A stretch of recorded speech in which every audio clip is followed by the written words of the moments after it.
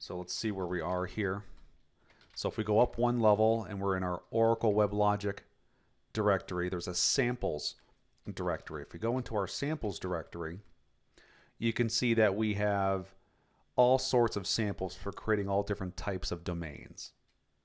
The one that we're going to create is this one right here, the 12213 dash domain.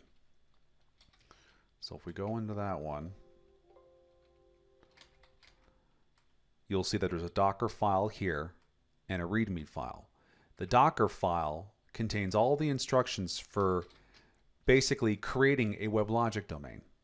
And if we view that Docker file, you can view this, this is all plain text, right? So we can see that it's built on top of the Oracle WebLogic 12213 image that we just created.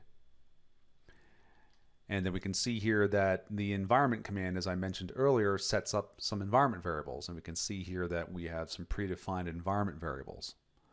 So this is the beauty of using the Docker files provided by Oracle, is that this gives you a head start on establishing a WebLogic environment.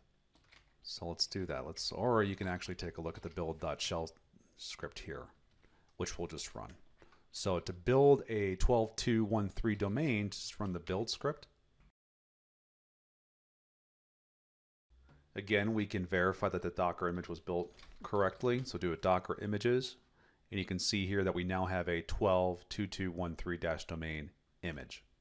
Okay, so now we're done building images. We have an image for Java, we have an image for the WebLogic product itself, which is built on top of Java, and we have an image for the domain, the WebLogic domain itself. So think of these images as templates. They're definitions of of a WebLogic domain or the product install. So they don't they're not actually actual instances or nothing's running at this point.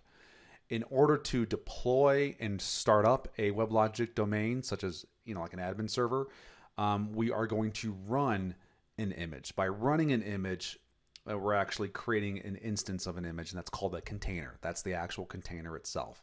That's a single process that's going to be running on your Docker host, and inside of that process is going to be the image, or excuse me, the container that contains Java, WebLogic, the operating system.